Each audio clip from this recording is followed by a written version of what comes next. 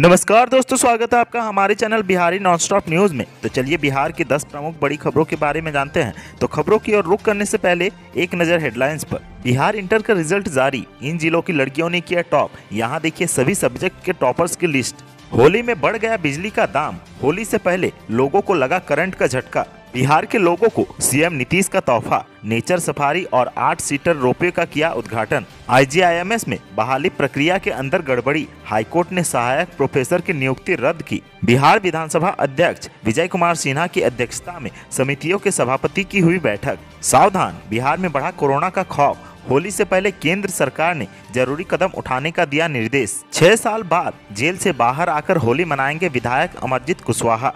Patna high court से मिली जमानत। उत्पादन वितरण समारोह में शामिल हुए मंत्री सुमित सिंह, आदिवासियों को बाटा बतख, बकरी और बटेर। पान बेचने वाले की बेटी बनी बिहार टॉपर। गरीब पिता की आँखों से निकले आँसू। बोले, बेटी का हर सपना पूरा करेंगे। चाय बेचने वाले की बेटी बनी टॉपर। नंदनी ने पिता का नाम किया रोशन। बोली, डीएम बनना चाहती हूँ। अब खबरें विस्तार से। जी हाँ, शुक्रवार को बिहार बोर्ड के इंटर का रिज़ल्ट आ गया है। बिहार विद्यालय परीक्षा समिति ने बारहवीं का रिज़ल्ट जारी कर दिया है। इंटर परीक्षा में दस लाख पैंतालीस हज़ार नौ सौ पचास बच्चे पास हुए हैं। आर्ट्स, कॉमर्स और साइंस तीनों संकायों में लड़कियों ने बाजी मारी है। बोर्ड के अध्यक्ष आनंद किशोर और शिक्षा मंत्री विजय चौधरी ने संयुक्त रूप से प्रेस कॉन्फ्रेंस कर टॉपर्स की लिस्ट भी जारी की है। शुक्रवार को बिहार विद्यालय परीक्षा समिति ने बारहवीं का रिज़ल्ट जारी कर दिया है। इस बार आर्ट्स में सतहत्तर दशमलव निन्यानवे प्रतिशत, कॉमर्स में इक्यानवे दशमलव अड़तालीस प्रतिशत और साइंस में छिहत्तर दशमलव अट्ठाईस प्रतिशत छात्र छात्राओं ने पास किया है। इंटर परीक्षा में दस लाख पैंतालीस हज़ार नौ सौ पचास बच्चे पास हुए हैं। आर्ट्स, कॉमर्स और साइंस तीनों संकायों में लड़कियों ने बाजी मारी है। आर्ट्स में मधु भारती कॉमर्स में सुगंधा कुमारी और साइंस में सोनाली कुमारी टॉपर रही है। आर्ट्स में मधु भारती के साथ सिमुलतला आवासीय विद्यालय के कैलाश कुमार ने भी टॉप किया है। इंटर आर्ट्स में खगड़िया और आर लाल कॉलेज की छात्रा मधु भारती और सिमुलतला आवासीय विद्यालय के कैलाश कुमार ने बानवे दशमलव साठ प्रतिशत के साथ टॉप किया है। इन दोनों को 500 में से चार अंक मिले हैं। कॉमर्स के औरंगाबाद के एस एन सिन्हा कॉलेज की छात्रा सुगंधा कुमारी ने चौरानवे दशमलव बीस प्रतिशत के साथ टॉप किया है। इन्होंने 500 में से 471 अंक हासिल किया है। देश में बढ़ती महँगाई की समस्या से लोग खासे परेशान हैं। पेट्रोल, डीजल, रसोई गैस की बढ़ती कीमतों के कारण कई सामानों के दाम भी बढ़ गए हैं, जिसका आम लोगों के जनजीवन पर खासा असर पड़ता नज़र आ रहा है। वहीं बिहार के लोगों को होली पर्व से पहले बढ़ती महँगाई के बीच एक और झटका लगा है। दरअसल विद्युत विनियामक आयोग ने बिहार में एक अप्रैल से बिजली की नई दरें लागू करने का फैसला लिया है। वित्तीय वर्ष 2021-22 में बिजली की दर में ज़ीरो दशमलव तिरसठ प्रतिशत बढ़ोतरी की गई है।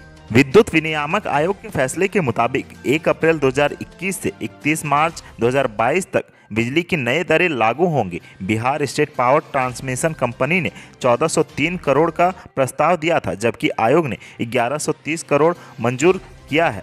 दो कंपनी साउथ और north Bihar power distribution company ने बिजली को 9 से 10 प्रतिशत की बढ़ोतरी का प्रस्ताव पहले से ही दे दिया था। साउथ बिहार ने बयालीस दशमलव छियासी प्रतिशत और नॉर्थ बिहार ने सत्ताईस दशमलव इकहत्तर प्रतिशत का नुकसान भी दिखाया था।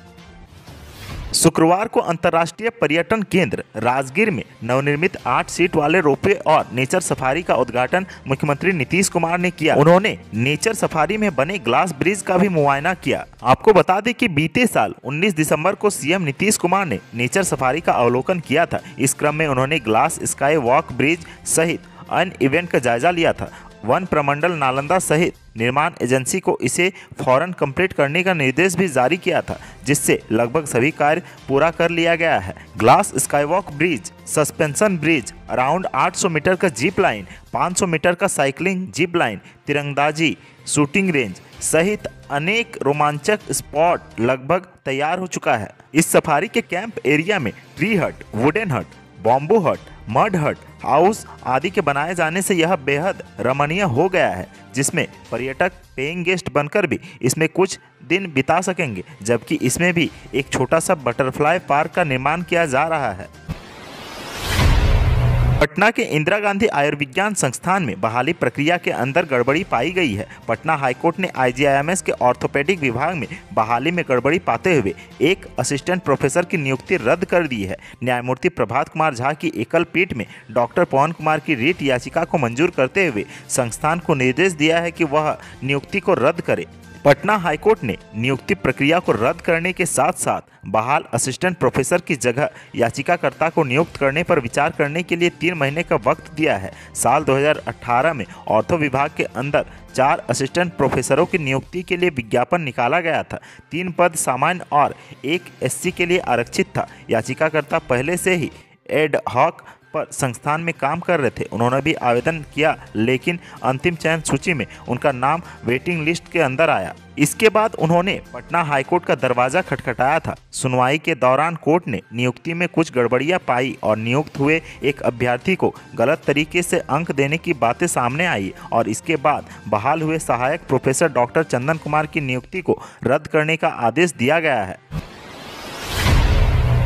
शुक्रवार को बिहार विधानसभा की समितियों के सभापति के साथ एक बैठक की आयोजित की गई। विधानसभा अध्यक्ष विजय कुमार सिन्हा की अध्यक्षता में आयोजित इस बैठक में बिहार विधानसभा के विभिन्न समितियों के सभापति हरि नारायण सिंह, जीतन राम मांझी, नंद किशोर यादव, प्रेम कुमार, राम नारायण मंडल, सुरेंद्र प्रसाद यादव, विनोद नारायण झा, राम प्रवेश राय, कृष्ण कुमार ऋषि, शशिभूषण हजारी चंद्रहास चौपाल, अजीत शर्मा, मोहम्मद अफाक आलम, अरुणा देवी एवं बिहार विधानसभा के सचिव राजकुमार सिंह शामिल हुए। 20 की समितियों की बैठक में बिहार विधानसभा अध्यक्ष विजय कुमार सिन्हा ने कहा कि सत्र में नहीं होने के दौरान ये समितियाँ मिनी विधानसभा की तरह काम करती है। समितियों के प्रभाव रूप से क्रियाशील रहने पर न केवल विधायिका बल्कि कार्यपालिका भी अपने उत्तरदायित्व को सही ढंग से निभा सकेगी, जिससे अधिक से अधिक जनहित का कार्य हो सकेगा, जिससे बिहार विधानसभा की गरिमा बढ़ेगी और जनता के बीच सकारात्मक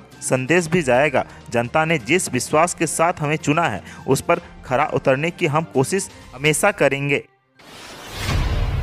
देश भर में कोरोना संक्रमण के मामले एक बार फिर से तेज़ी से बढ़ने लगे हैं। बिहार में इन दिनों कोरोना मरीजों की संख्या तेज़ी से बढ़ रही है, जिसको लेकर राज्य सरकार चिंता ज़ाहिर कर चुकी है। बिहार में इस हफ़्ते कोरोना मरीजों की संख्या डेढ़ गुनी रफ्तार से बढ़ रही है। होली से पहले ही राज्य में हज़ारों एक्टिव केस हो चुके हैं। स्थिति को देखते हुए केंद्र सरकार ने बिहार के मुख्य सचिव को पत्र लिखकर होली सब ए बारात, ईद उल फितर सहित अन्य पर्व त्योहारों में ज़रूरी कदम उठाने का निर्देश दिया है। बिहार समेत देश के अन्य राज्यों और केंद्र शासित प्रदेशों में कोरोना की स्थिति को देखते हुए केंद्रीय गृह सचिव अजय भल्ला ने शुक्रवार को सभी राज्यों और केंद्र शासित प्रदेशों को निर्देश जारी किया है। इसमें उन्होंने आगामी त्योहारों को देखते हुए कोरोना संकट से निपटने के लिए उचित उपाय अपनाने को कहा है। अजय भल्ला ने अपने पत्र में राज्य सरकारों को लिखा है कि वो आने वाले त्योहारों को लेकर सख्त कदम उठाए केंद्रीय गृह सचिव ने लिखा है कि आने वाले दिनों में होली, सब ए बारात, ईद उल फितर जैसे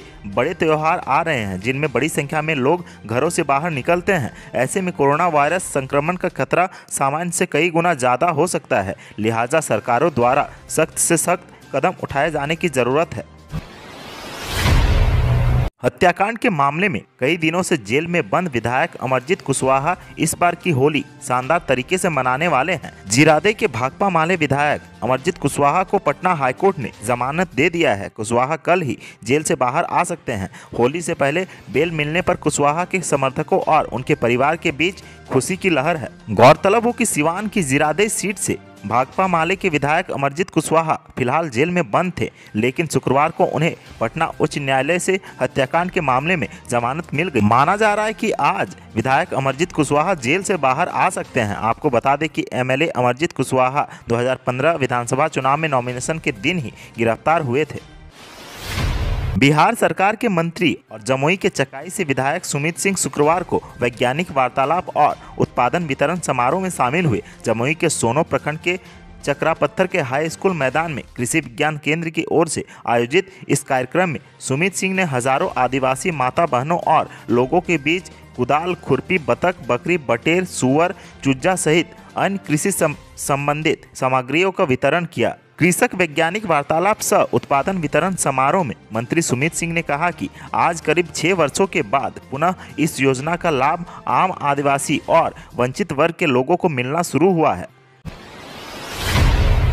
शुक्रवार को बिहार बोर्ड ने इंटर का रिज़ल्ट जारी कर दिया। सबसे बड़ी खुशी की बात तो यह है कि इस बार आर्ट्स, कॉमर्स और साइंस तीनों संकायों में लड़कियों ने बाजी मारी है। लड़कों को पछाड़ते हुए बेटियों ने अपने माँ बाप का नाम रोशन कर दिया है। पश्चिमी चंपारण ज़िले के बेतिया के रहने वाली शिवानी कुमारी ने कॉमर्स में टॉप किया है।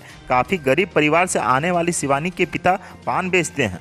बेतिया के चनपटिया की रहने वाली शिवानी कुमारी को पूरे बिहार में पांचवा स्थान मिला है। शिवानी ने 500 में से चार सौ पैंसठ अंक लाकर कॉमर्स स्टेट टॉपरों में पांचवा स्थान हासिल किया है। रिज़ल्ट जारी होने के बाद शिवानी को बधाई देने वालों का तांता लगा है। शिवानी के पिता संजय प्रसाद उर्फ़ मुन्ना एक पान दुकानदार हैं, जबकि माँ अनिता देवी गृहिणी है। इन दोनों ने दिन रात मेहनत कर अपनी बेटी को पढ़ाया है। शुक्रवार को जैसे ही इन्होंने सुना कि इनकी बेटी ने पूरे बिहार में पांचवा स्थान हासिल किया है, इनकी आँखों से खुशी के आँसू निकलने लगे। पान बेचने वाले शिवानी के पिता संजय प्रसाद उर्फ़ मुन्ना ने बताया कि उनकी बेटी ने देश भर में उनका नाम रोशन किया है। यह अपनी बेटी को और अच्छे से संस्थान में पढ़ने के लिए भेजेंगे। वह अपनी बेटी के हर एक सपने को पूरा करेंगे और उसकी पढ़ाई के बीच में कभी भी गरीबी को रोड़ा नहीं बनने देंगे। उनकी बेटी ने कड़ी मेहनत से इस मुकाम को हासिल किया है।